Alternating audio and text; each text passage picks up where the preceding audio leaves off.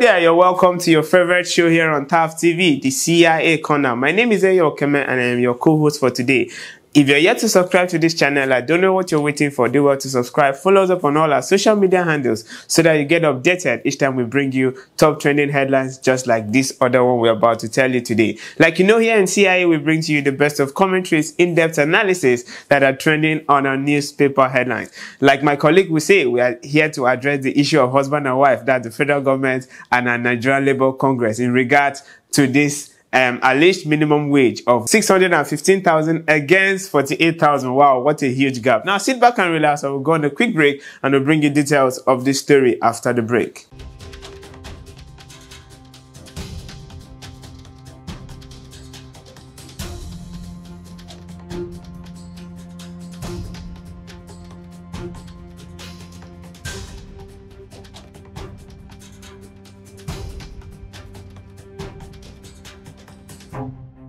All right, you're welcome back from that quick break. Now let's dive into the story. Prop can never run a functional economy, a functional workforce without minimum wage. Now, a few months ago, our NLC, that's the Nigerian Labour Congress, came out and gave us a clear data analysis, let me put it that way, of how um, their demands would go in regards to the wages. Now and they, they demanded for 615,000 now our federal government few days ago came out to say that they are proposing against the 615,000 that Nigerian Labour Congress demanded in regards to their, um, according to them, this is not minimum wage, this is living wage. Now, the federal government has kicked against it, though they are yet to give us um, clear analysis. Now, today's husband and wife situation, the most controversial part of this story is that uh, our NLC, that's the Nigerian Labour Congress, came out with, um, should I say, proofs, analysis, a breakdown of what they want. They even told us that okay, um, this is uh, they are they are making provisions for uh, uh, uh, for families that are, for a worker that has six children. This will be their school fees. This will be their lightings. They they they, they gave Nigerians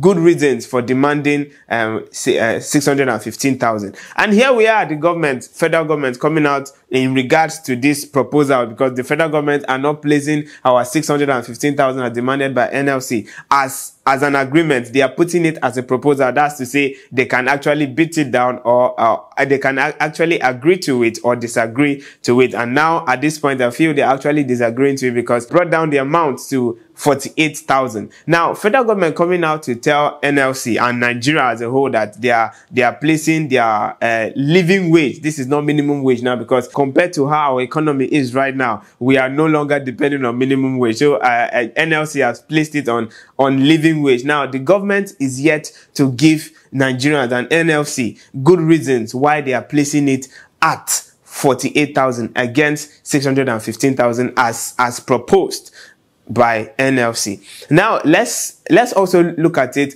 on the angle of I know of late we have been attacking the government and uh, and saying okay they should actually agree because the cost of living has actually increased so our living wage should, should also increase. Now let's look at it from the angle of NLC.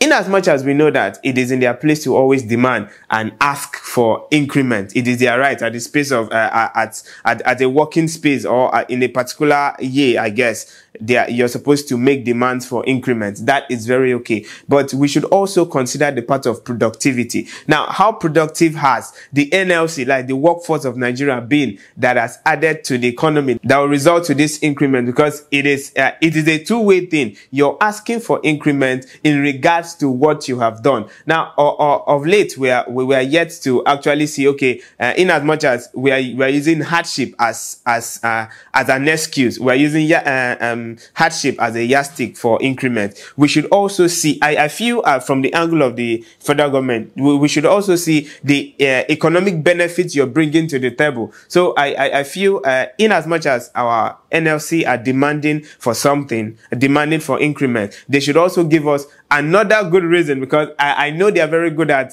data analysis, giving us good analysis about just like what they did to the 615,000. I feel they should also uh, come uh, come to, to the terms that they, they, they are the workforce of the nation. That, that's to say they have to add to the economy. So of late, we're, we're yet to see what they are adding to the economy because at some point now, our economy is not stable. If, if, if we if we want to look at it from from the uh, from the angle of the government, the our Nigerian economy is not stable. So having to demand for um, demand for increments in your living wage, I feel you should also bring some um, level of innovative ideas that will also add up to the economy rather than just having to wake up one day and use um, hardship as a yardstick to increase your um, as the NLC will always put it. So I feel NLC should also go back to their drawing board and also think of how to add to the economy because if government gets to uh, uh, accept this uh, 615,000 monthly, it's going to stretch the, the economy of the nation. Now, also considering the angle of the government because they are the fathers they are the fathers of this. So rather than just waking up and, and, and telling NLC, no, we're not agreeing to this particular proposal of uh, 615,000, we want to place it at 48,000. We feel and we believe they should be so, uh, we feel and we believe that they, there should be more transparency in regards to this 400 and uh, of or I beg your pardon in this 48,000 that they are they are they are bringing to the table. Now let us have a good reason, just like uh, NLC gave us. Okay, for a family of six, this is what uh, we we are we are expecting them to spend. They even uh, gave analysis in terms of inflation. If we get to have inflation, okay, this is how much a particular family will be spending. I feel the government should be transparent enough to also come out and say, see, oh, this is why we are we're placing it at 48,000. This is why we, we, we, we want it to be at this level for now. So just like I said, it is a two-way win. Not uh, disregard the fact that for a nation to move forward, there has to be a functional workforce and those workforce have to be empowered. So in as much as we are hoping that the government will actually buy to the ideas, I know some persons are, are saying at least they should place it at the hundred thousand. In as much as we know that the government, we are pleading with the government to please buy into the ideas of NLC. We are also pleading with NLC to please add up to the economy, bring up innovative ideas that will boost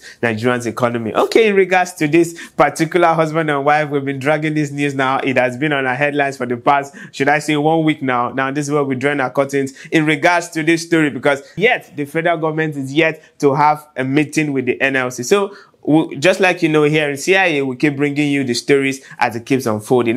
Now, for this very one that uh, they are yet to draw conclusions on, if you have, I know Nigerians always have what to say. Now, do well to slide to your to our comment sections and drop your thoughts in regards to this. Is the federal government right placing it at 48,000? Is NLC also right placing it at 615,000 monthly? I would like to see your views in regards to this particular headline. This has been the CIA corner here on Thav TV and I've been your co-host for today, Yokeme. See you next time.